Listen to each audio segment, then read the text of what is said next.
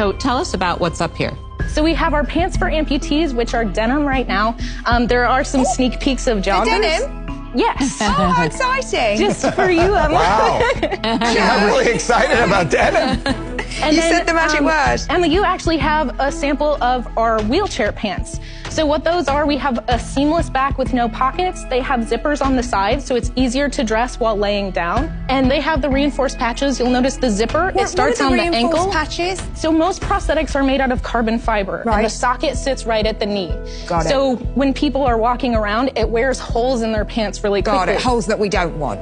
Exactly. Right. Not, the, not the distressing kind. I've got Yeah. Also, you have a sample of our sensory collection. We developed a special material that's non-aggravating to those with sensory processing disorder. It's knit, non-irritating. It has a cool touch feel. And where are you manufacturing right now? Bangladesh. Erica, how big is this market? Like, can you build